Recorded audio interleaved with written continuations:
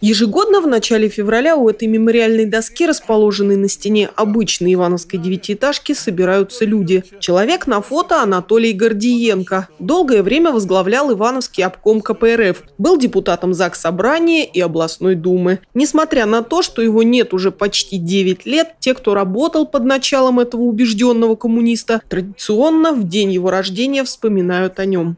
Человек первый секретарь горкома партии. У него не было вот этого чванства, которое есть часто у руководителей.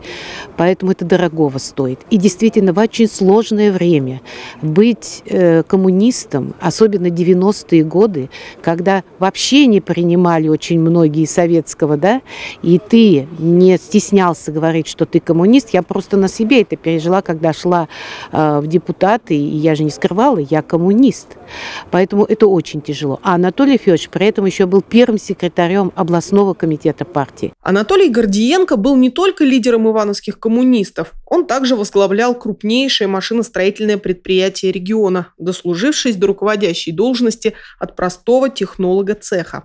После перестройки, после того, как уже э, другие ценности э, возобладали, другая власть пришла, вот, он остался предан. Ведь многие перешли э, более комфортные условия, э, зарабатывать деньги, э, отказываться от тех принципов, потому что они не приносили ни дохода, ни благ, ничего.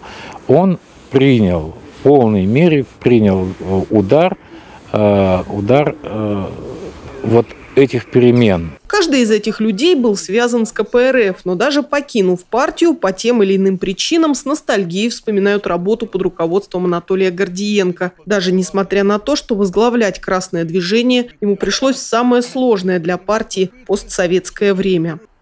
Наталья Гутарина, Денис Денисов, РТВ Иванова.